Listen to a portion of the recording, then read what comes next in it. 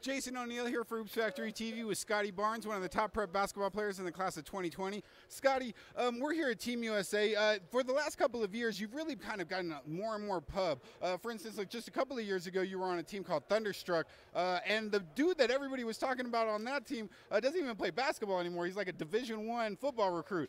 Uh, what has kind of changed for you over the last two years uh, that's gotten you to this point?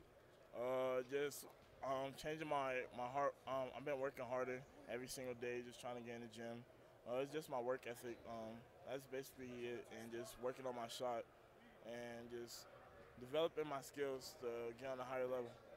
And when you talk about developing your skills, one thing that I hear everybody talking about is your motor. Is that something you kind of pride yourself on? Uh, yes, I know that scouts look at me because of my motor, my defense.